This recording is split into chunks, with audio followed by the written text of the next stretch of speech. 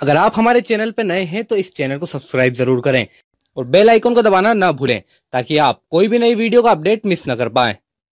2019 के लिए चुनाव की तारीखों का ऐलान हो गया है। चुनाव की तारीखों के ऐलान के साथ ही पूरे देश में आचार संहिता लागू हो गई है। आचार संहिता लागू होने के साथ ही राजनीतिक पार्टियाँ, उम्मीदवार सत्ताधारी पार्टियाँ और मंत्री प्रतिनिधियों को चुनाव आयोग के दिशा निर्देशों के अनुसार ही काम करना होगा। आचार संहिता का पालन न करने वाले प्रत्याशी को चुनाव लड़ने से रोका जा सकता है। उसके खिलाफ एफआईआर भी दर्ज हो सकती है और दोषी पाए जाने पर उसको जेल भी जाना पड़ सकता है।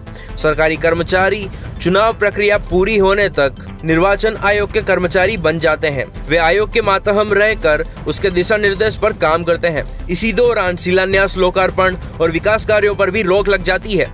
सरकार घोषणाएँ भी नहीं कर सकती। राजनीतिक दलों को यह ध्यान रखना होता है कि उनके द्वारा आयोजित रैलियों और रोड शो से यातायात प्रभावित नहीं होना चाहिए। आचार संहिता का सबसे महत्वपूर्ण निर्देश है कि प्रत्याशी किसी भी कीमत पर मतदाताओं को किसी प्रकार का प्रलोभन नहीं दे सकते हैं। कई प्रत्याशी प्रत्याशियों द्वारा मतदाताओं को शराब वितरण और पैसे सहित कई प्रकार के उपहार देने की बात सामने आती है। ये काम करना पूरी तरह से वर्जित है।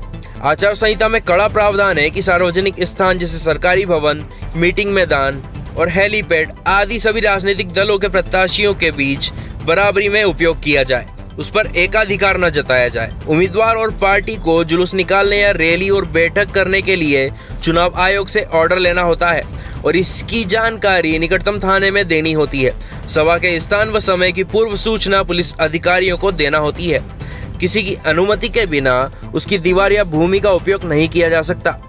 मतदान के दिन मतदान केंद्र से 100 मीटर के दायरे में चुनाव प्रचार पर रोक और मतदान से एक दिन पहले किसी भी बैठक पर रोक लग जाती है। कोई भी पार्टी या उम्मीदवार ऐसा काम नहीं कर सकती, जिससे जातियों और धार्मिक या भाषाई समुदायों के बीच मतभेद बढ़े या घृणा फैले।